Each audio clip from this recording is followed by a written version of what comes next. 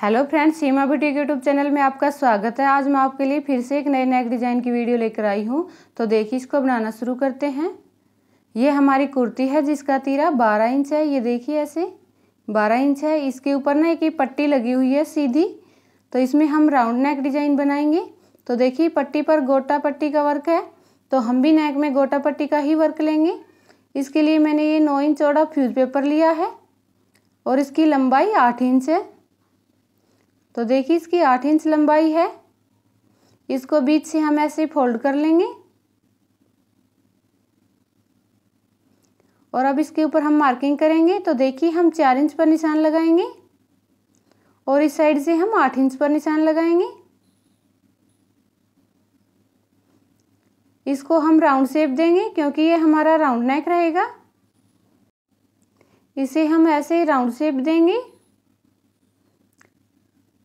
और अब हम इसे कटिंग कर लेंगे।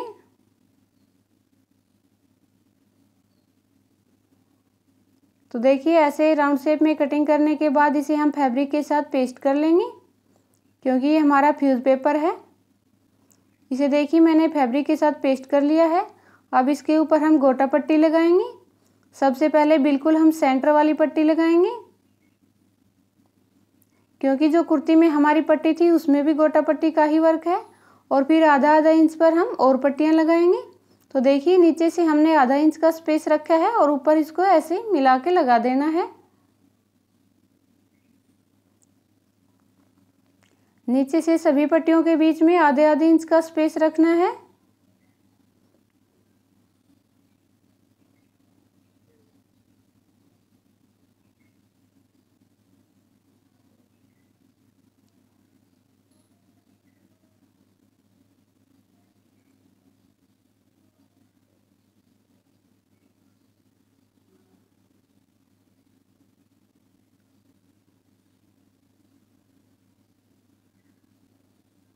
तो देखिए, पूरे नेक पर हम इसी प्रकार से गोटा पट्टी लगा लेंगे यहाँ तक।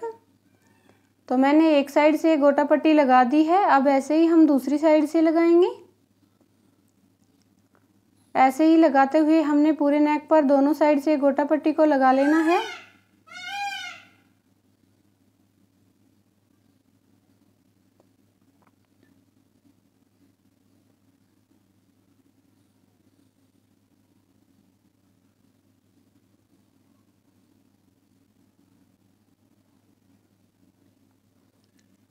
तो देखिए फ्रेंड ऐसे जब गोटा पट्टी लग जाएगी तो उसके ऊपर हम ट्रायंगल वाला पैटर्न बनाएँगे। इसके लिए हम पहले से ही इसके ऊपर मार्किंग कर देते हैं। ये मार्किंग जहाँ पर हमारा फ्यूज पेपर है, वहाँ पर करेंगे।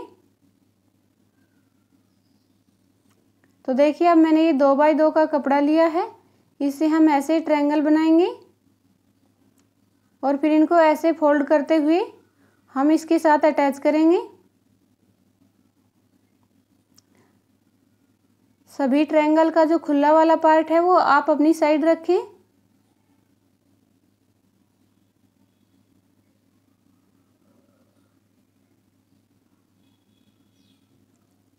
और जब हम सेंटर में आ जाएँगे तो हम उसका जो खुला वाला पार्ट है वो दूसरी साइड रखेंगे।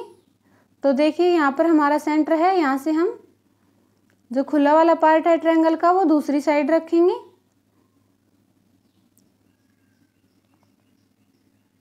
देखिए, आपको इस बात का विशेष ध्यान रखना है, सभी ट्रायंगल्स के जो खुले वाले पार्ट हैं, वो एक ही साइड होने चाहिए ताकि हम जो दूसरा पैटर्न बनाएँ, उसमें कोई प्रॉब्लम नहीं आए।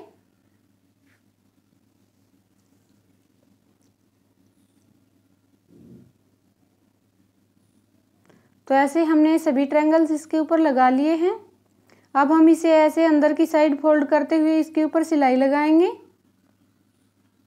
तो देखिए, इनको ऐसे फोल्ड कर देना है और ऊपर से सिलाई लगा लेनी है।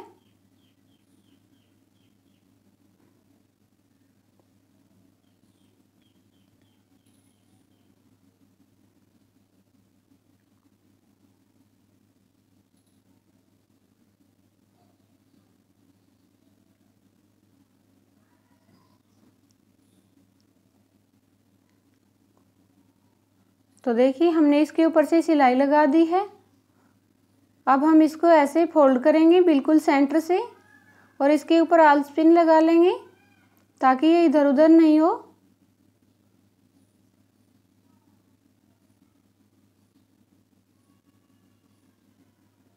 और अब इसके ऊपर हम अपने नेक की मार्किंग करेंगे। तो देखिए इसकी विड्थ हमने चार इंच रखी थी और इसमें हम एक इंच पर मार्किंग कर लेंगे तो हमारे नेक की विड्थ तीन इंच रह जाएगी। इस पर देखिए, सभी ओर से हम एक एक इंच पर निशान लगा लेंगे।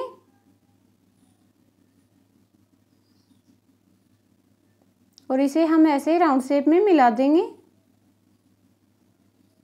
देखिए, हमारे नेक की विड्थ तीन इंच है और ऐसे लंबाई साढ़े छः इंच है। अब इसे हम कटिंग कर लेंगे।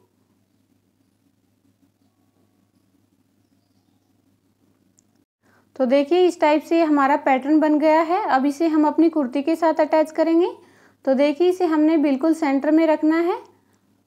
और वो भी उल्टी वाली साइड रख के हमने सिलाई लगानी है। इस साइड नहीं रखना, ऐसे रखना है और फिर हमने सिलाई लगानी है।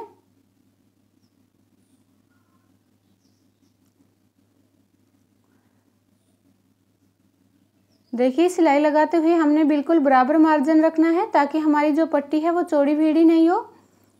हमने इस बात का विशेष ध्यान रखना है कि हमने सिलाई लगाते हुए मार्जिन बिल्कुल बराबर बराबर रखना है।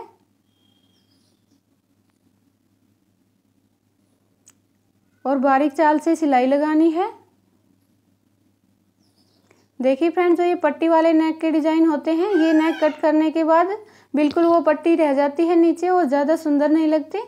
इसलिए आप इनके ऊपर कुछ अच्छा सा पैटर्न बना के लगाएँ तो ये नेक का डिज़ाइन और भी सुंदर लगे। तो इसलिए मैंने ये डिज़ाइन इस पर बनाया है। आप भी इस प्रकार का डिज़ाइन ज़रूर ट्राई करें। देखिए, कट करने के बाद छोटे छोटे कट्स के निशान लगा लेंगे और फिर पट्टी को पलट कर इसके ऊपर से सिलाई लगा देंगे। जो हमने पहले वाली सिलाई लगाई थी, ठीक उसी के ऊपर से हमने सिलाई लगानी है, ताकि दूर से देखने पर दिखाई भी नहीं दे कि हमने दो दो सिलाई लगाई है। तो देखिए, जो ये पट्टी थी, उसमें हमारा जो ये नेक का पैटर्न है, ये बिल्कुल मैच भी हो जाएगा, क्योंकि इसमें भी गोटा पट्टी का वर्क था और जो हमने पैटर्न बनाया है उसमें भी हमने गोटा पट्टी का यूज़ किया है। और जो हमारे नेक पे ये सीधी सी पट्टी दिखाई देती, वो भी नहीं रहेगा, एक अच्छा सा नेक बन के रेडी होगा। तो आप इस प्रकार ज़रूर ट्राई करें। और यदि आपकी कुर्ती पर सीधी पट्टी लगी हुई आई है तो अब देखिए, हमने इस प्रकार के मोती लिए हैं। मोतियों का साइज़ आप अपने हिसाब से ले सकते हैं। और जो ये ट्रायंगल्स बनाए थे, इनको ऐसे पलट कर सुई धागे की हेल्प से एक एक मोती लगा लेंगे, जिससे हमारा पैटर्न और भी अच्छा बन के रेडी होगा। तो देखिए, पहली वाली पे तो मैं कोई मोती नहीं लगा रही हूँ, क्योंकि ये हमारी सिलाई में जाएगी। और दूसरे वाले ट्रायंगल को हम पलट कर इस पर मोती लगाएँगे। देखिए, मोती की सहायता से हम इसे अच्छे से पक्का कर लेंगे। ऐसे ही हमने सभी को पलट पलट कर इनके ऊपर एक एक मोती लगाना है।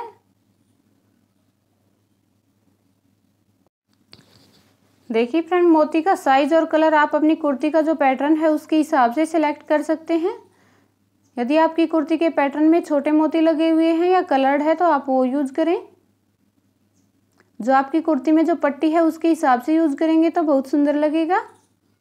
तो देखिए, सभी ट्रायंगल्स को मैं ऐसे ही फोल्ड करते हुए और सभी पर एक एक मोती लगा दूँगी।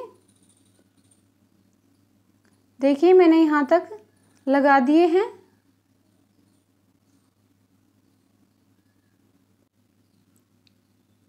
तो देखिए, इस साइड भी हम जो लास्ट का है, उसके ऊपर मोती नहीं लगाएँगे, क्योंकि वो हमारी सिलाई में जाएगा।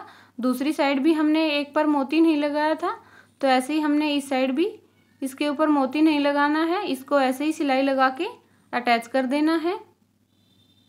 और फिर धागे को कट कर लेना है। तो फ्रेंड्स, आपको हमारी ये वीडियो कैसी लगी हमें कमेंट करके ज़रूर बताएँ। यदि अच्छी लगी हो तो वीडियो को लाइक और शेयर कर दें और चैनल पर पहली बार आए हैं तो चैनल को सब्सक्राइब करके बेल आइकन का बटन दबा लें। एंड तक वीडियो देखने के लिए थैंक यू सो मच। मिलते हैं किसी नेक्स्ट वीडियो में।